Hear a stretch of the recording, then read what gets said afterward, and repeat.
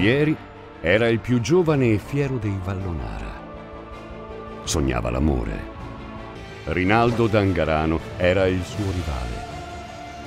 Amava la guerra e il pugnale.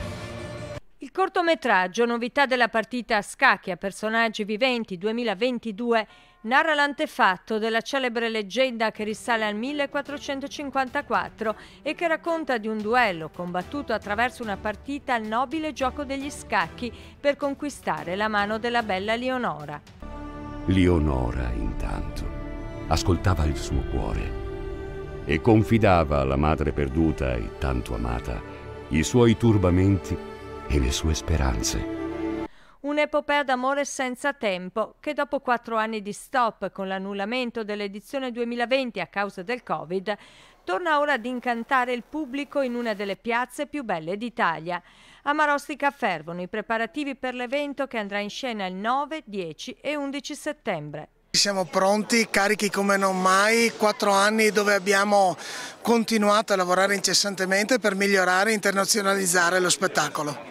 Che partita a scacchi sarà quella di quest'anno? Beh, la partita a scacchi della rinascita a tutti gli effetti e la partita a scacchi che ci porterà verso il centenario del nostro meraviglioso spettacolo. La regia è affidata ancora una volta a Maurizio Panici, sempre attento a rispettare la tradizione. Sempre nel rispetto della tradizione, ma proiettati con una visione di futuro e utilizzando anche i mezzi che abbiamo a disposizione per poterlo fare.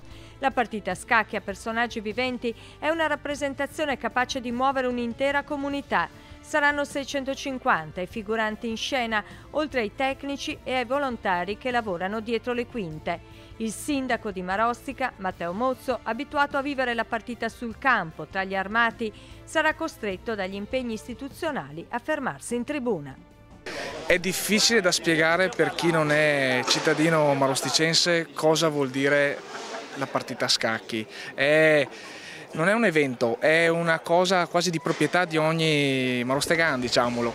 E l'emozione è tanta e crea veramente un movimento di popoli in cui tutta la città collabora. Sono sicuro che sarà un'edizione da record e ne gioverà tutto il territorio, non soltanto la nostra città.